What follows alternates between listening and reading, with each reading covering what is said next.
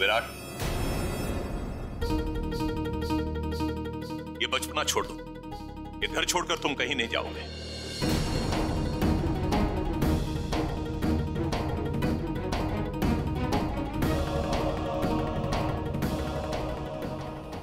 Virat,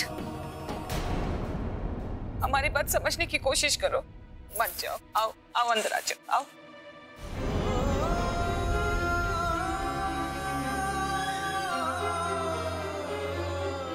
I'm sorry.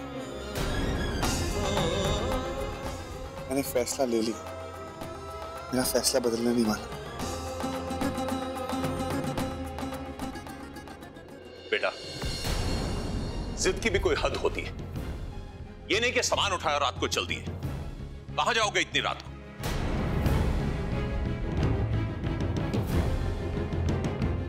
कोई है ठिकाना तुम्हारा? ढूंढ लूँगा। मैं कोई बच्चा नहीं हूँ।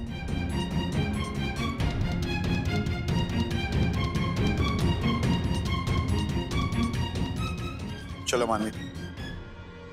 मानवी तुम्हारे साथ नहीं जाएगी, विराट। वो इस घर को छोड़कर और अपनी बहन को छोड़कर भला तुम्हारे साथ क्यों जाएगी? वो तुम्हारे फैसले में भागीदार क्यों होगी?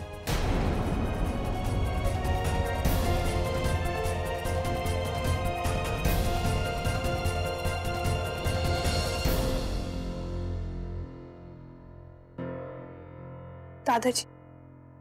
मैं मैं विराट के फैसलों में नहीं, उसकी लाइफ की भी भागीदार हूँ।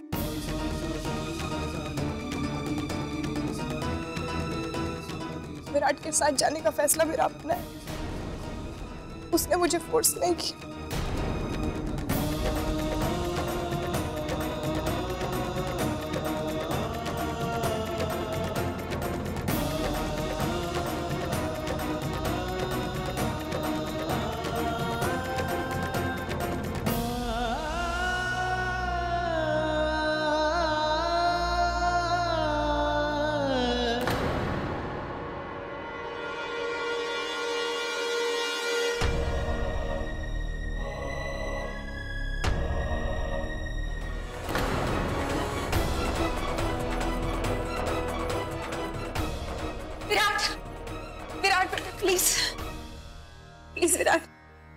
मत जाओ।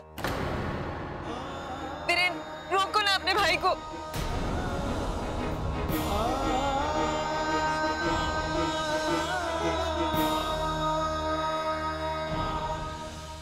विराट विराट रुक जाओ।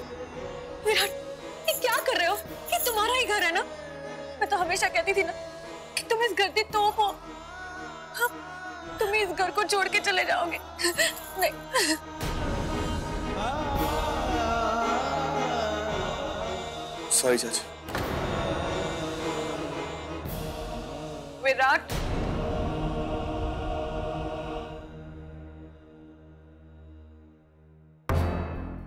अगर तुमने जाने की जिद ठानी ली है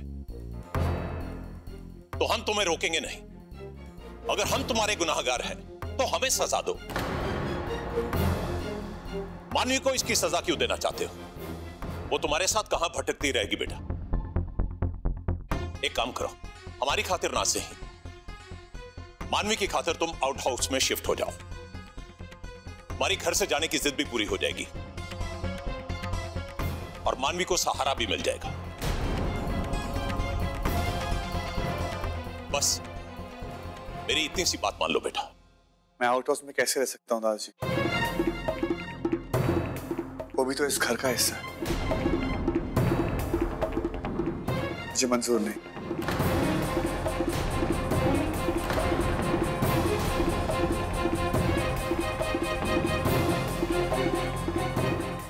तुम्हें मंजूर नहीं। कितने खुदगर्ज हो गए तुम विराट।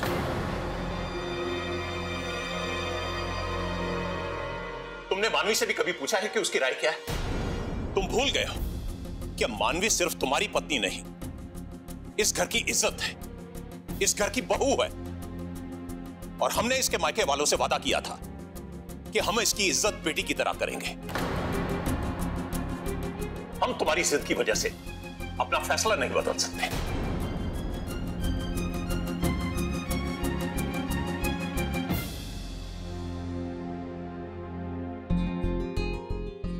ठीक है। मुझे मंजूर।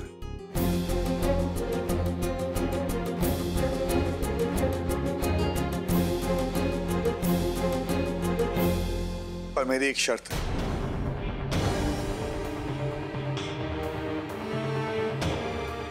आउट हाउस करंट मैं दूँगा।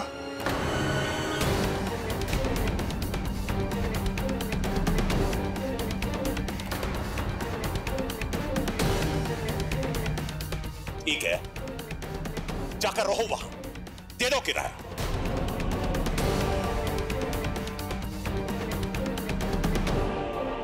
चलो माँ।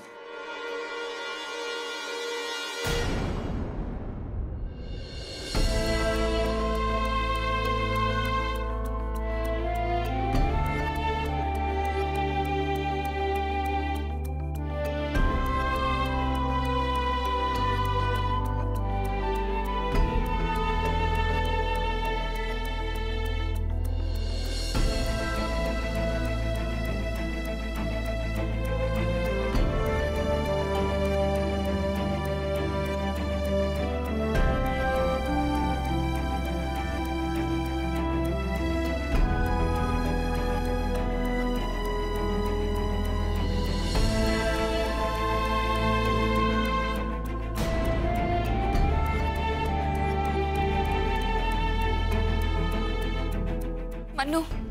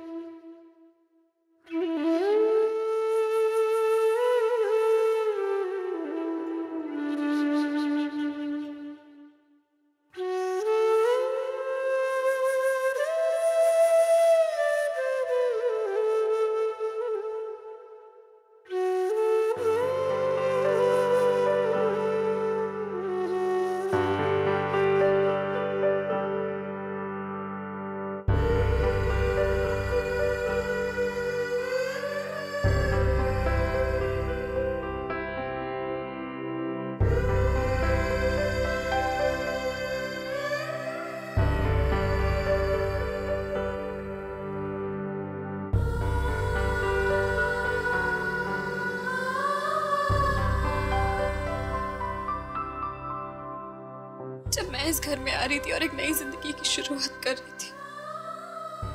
कभी मुझे ये गंगा जल दिया था ना, ये कहकर मुझे मम्मी पापा के सहारे की ज़रूरत पड़ेगी। आज ये घर छोड़कर तू एक नई ज़िंदगी की शुरुआत कर रही है। मम्मी पापा की ज़रूरत तुझे भी पड़ेगी ना।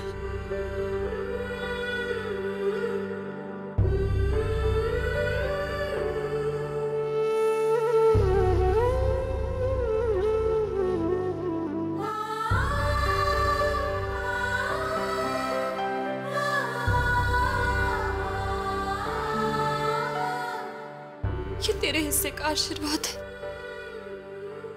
इसे संभाल के रखना।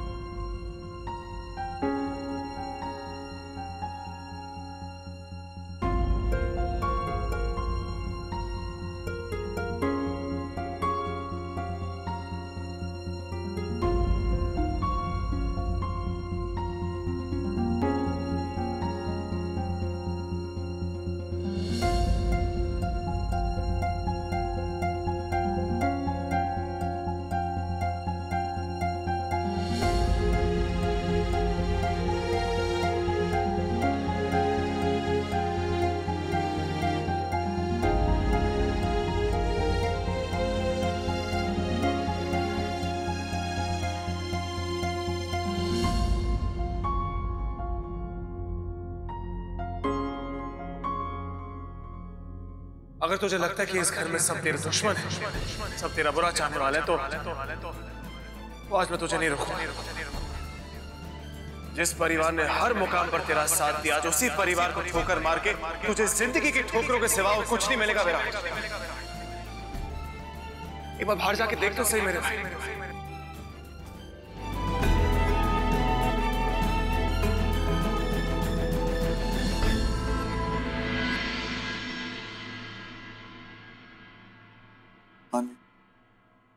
सबसे पहले मैं यहाँ की सफ़ाई करनी पड़ेगी।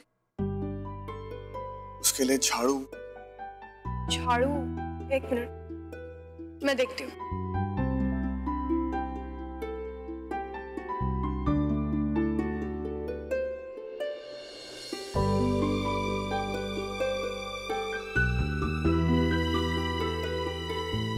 मिल गई झाड़ू। एक मिनट ये रही।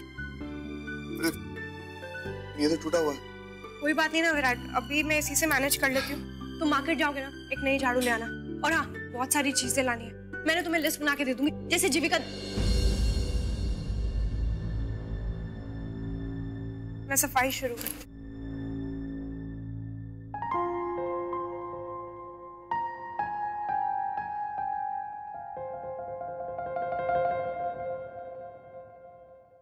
देखो मानवी, पुरानी बातें पुरानी यादें जितना जल्दी भूलोगी, हमारे लिए उतना बेटर आज से हमारी ज़िंदगी में बस तुम और मैं तीसरा कोई नहीं। सब पीछे रह गए।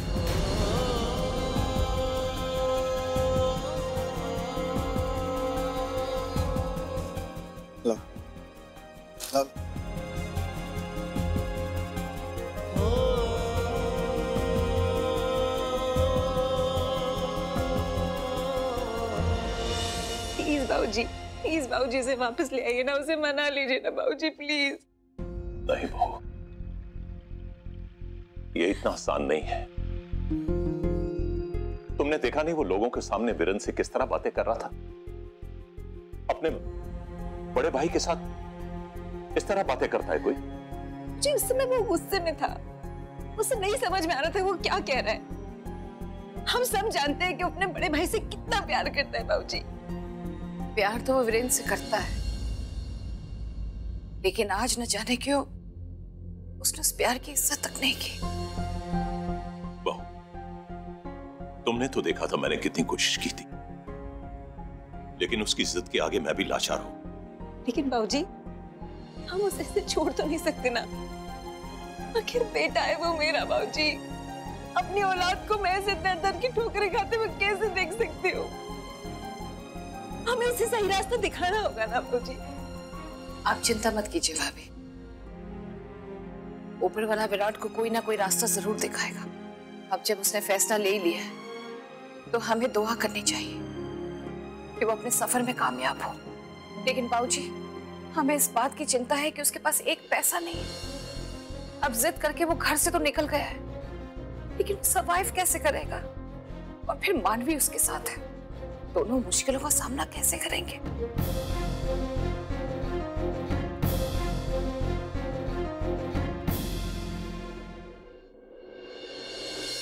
Thank you thank you thank you thank you आपने हमेशा मेरा साथ दिया कभी मेरा हाथ नहीं छोड़ा। प्लीज़ प्लीज़ कभी भी मेरा साथ मत छोड़ना। हम सारे हमेशा तेरे साथ हैं। और जब भी तुझे हमारी ज़रूरत पड़ेगी हम सब सिर्फ़ तेरे साथ हैं। सामने खड़े होंगे खड़े होंगे, खड़े होंगे सब समझ गया। आपकी चाल अब तो आपने साबित कर दिया कि मैं अपने आप से कुछ कर ही नहीं सकता। मैं जो कुछ भी कर सकता हूँ सिर्फ़ आपके सारे के साथ ही कर सकता हूँ। लेकिन एक बात याद रखिए कि आप जितना महान बनने की कोशिश करेंगे ना मैं अपनी नज़रों में उतना नीचे करूँगा। सच तो ये कि जब कोई उंगली उठा के बोलता है कि विराट वडेरा जो कुछ भी है अपने भाई की वजह से।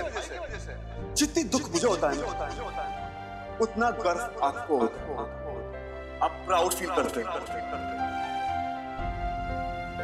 क्योंकि अगर मैं एक कॉन्ट्रैक्ट साइन कर लेता और कल मैं कामयाब हो जाता तो आप क्या कहते लोगों से?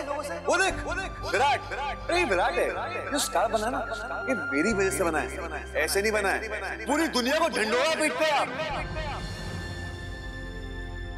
ये वक्त की घड़ी अचानक किस दिशा में घूम गई? भाई को मैं लक्ष्मण जैसे समझता था वो।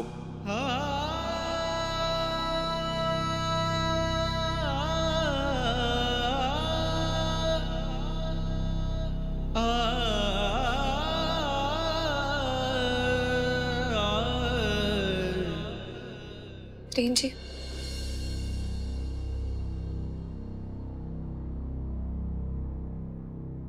अब अफसोस करके क्या फ़ायदा? माना कि विराट ने जो कुछ भी कहा, जो कुछ भी किया, बहुत गलत था।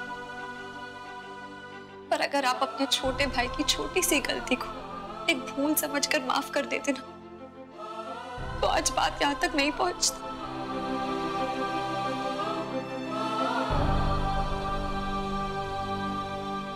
जीविका माफ़ी गलती करने वाले को दी जाती है। लेकिन जिसकी पूरी की पूरी सोच ही गलत हो उसके लिए ज़रूरी है कि उसकी सोच को बदला जाए, ना कि उस पर पर्दा डाल के उसे माफ़ किया जाए। मुझे मेरे किए पे कोई अफसोस नहीं।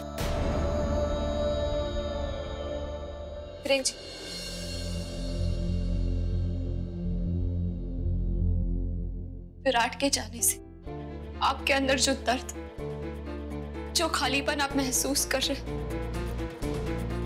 उसका आप क्या करोगे? उससे छुटकारा आप कैसे पाओगे? मुझे किसी से बिछड़ने का कोई गम नहीं। जब जाने वाले ने मेरी जज्बातों की कदर नहीं की मुझे पराये से भी पराया कर दिया। तो उसके लिए अफसोस कैसे?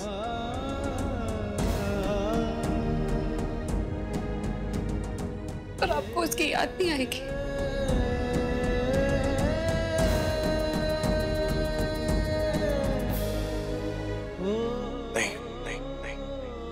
उसकी याद नहीं आएगी।